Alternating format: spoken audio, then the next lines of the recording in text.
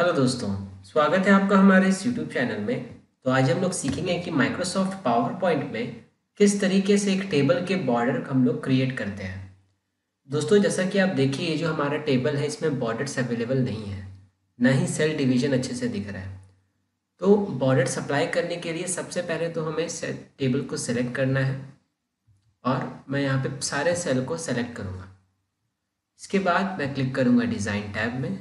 अब देख सकते हैं यहाँ पे एक आपको ग्रुप मिल जाता है टेबल्स टाइप अब अगर माइक्रोसॉफ्ट और एक्सेल आपने यूज़ किया होगा तो वहाँ पे अगर आप किसी भी पिक्चर को या टेबल को सेलेक्ट करोगे तो आपको यहाँ पे दिखने मिलता था शेडिंग्स और बॉर्डर्स की जगह आपको मिलता था एज कलर ठीक है?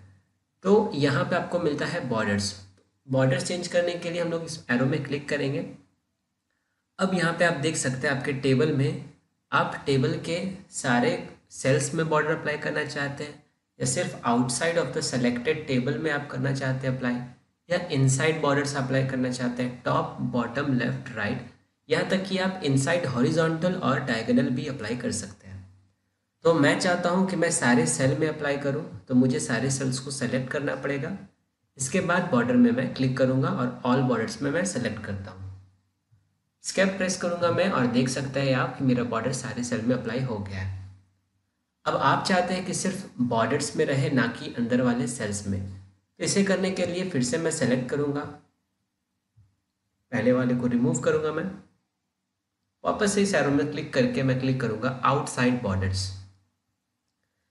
क्लिक करने के बाद आप देख सकते हैं मेरे सिर्फ़ आउटसाइड बॉर्डर्स में अप्लाई हो चुका है।